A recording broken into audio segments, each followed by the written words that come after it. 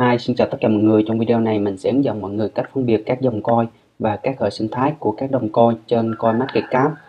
Thì đầu tiên mọi người vô cái trang web là coinmarketcap.com. Đây. Thì sau khi mà mình vô coinmarketcap.com á, thì mọi người kéo xuống dưới này. Đây, kéo xuống dưới này. Thì cái này đầu tiên á, là các loại tiền tệ này. Đây nó xếp theo thứ tự này. Các loại coin á, hiện có trên thị trường á.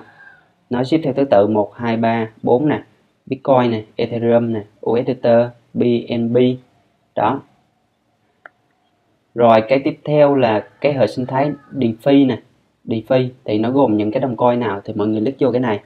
Đó mình click vô hệ sinh thái uh, DeFi thì nó gồm có Luna này, Terra, Avax nè, WBTC nè, đồng đai nè. Thì những cái đồng mà nó ship ở trên là những cái đồng nó lớn ở trong cái hệ sinh thái này dụ Luna nè Alvac nè, đó, Dai nè Chainlink nè.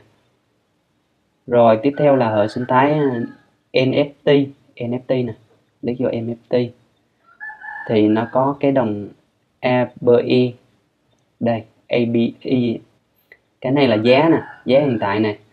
Cái này trong vòng 24 giờ nè, tăng giảm nè. Trong vòng này là 7 ngày. Này là market cap là vốn hóa thị trường này là giao dịch trong vòng 24 giờ nè à, còn cái này là tổng hiện có trên thị trường. Tổng cái đồng coin này hiện có trên thị trường trong cái hệ NFT này có ABE, Mana, San, Theta, XTZ, K, GMT đây nè. Hoặc là cái hệ sinh thái Metaverse này. Metaverse. Thì nó gồm nó cũng có những cái đồng coin là ABE, ABE thì cái đồng coin này nó nằm trong hai hệ sinh thái này. À, NFT và Metaverse luôn. Đó. Thì những cái đồng coin mình nằm ở trên đó, là những đồng coin lớn trong cái hệ sinh thái này.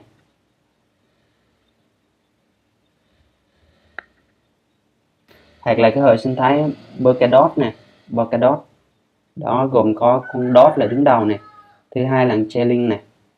À, Key, Key SM đó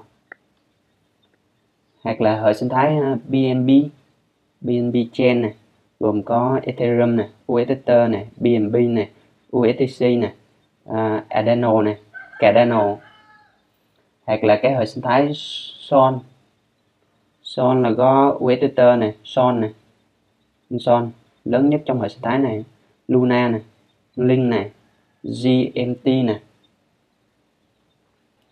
thì khi mà các bạn đầu tư các bạn có thể vô từng cái hệ sinh thái này và các bạn coi những cái đồng coin nào có sự tăng trưởng ổn định thì mình có thể đầu tư. Thì ở đây mọi người có thể chuyển qua tiếng Việt. Ở đây nó có tiếng Việt này tiếng Việt.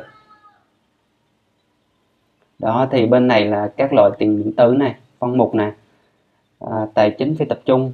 À, này là hệ sinh thái NFT Metaverse, Polkadot, BNB Chain, Solana đây ví dụ mình vô cái phân mục này đi.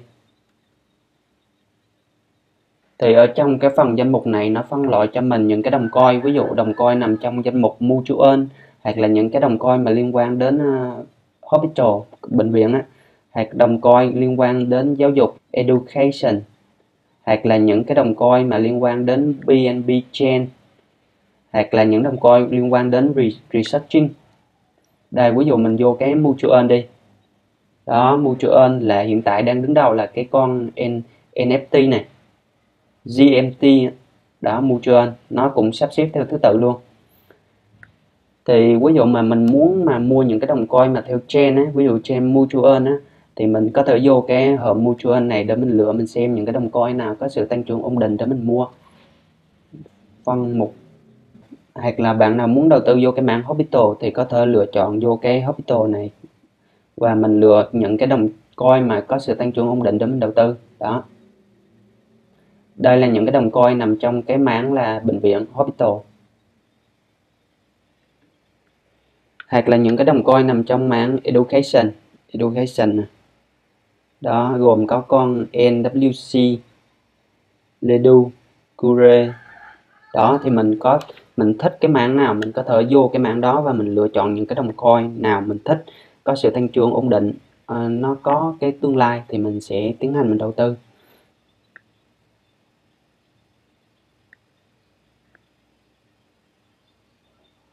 Thì ở cái mục này nó còn sắp xếp cho mình top 100 các loại tiền điện tử theo vốn hóa thị trường ví dụ trend này mutual này khay này bay hoặc là x again này gồm những cái đồng này hoặc là gần đây này.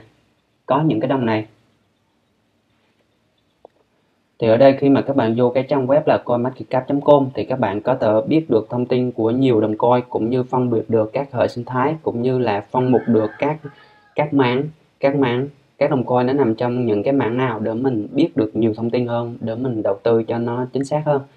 Thì hôm nay mình đã hướng dẫn mọi người cách phân biệt các loại đồng coin cũng như hệ sinh thái của các đồng coin trên trang coinmarketcap.